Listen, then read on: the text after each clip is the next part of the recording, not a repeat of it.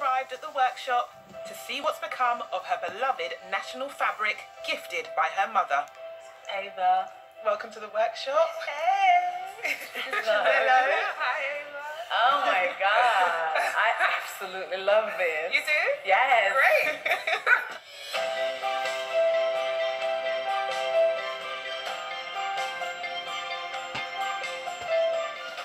This is really pretty. oh. This is so pretty. This is really pretty. Oh.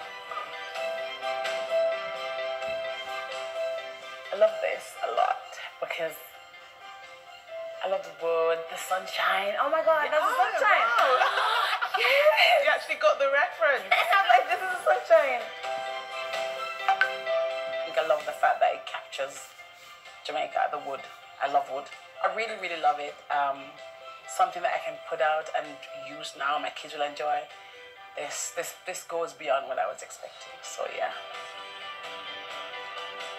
but I wanted it to represent your heritage in some way. Yeah, and um, for some reason, the idea of a clock came to mind. I know it was really important for us to get this right,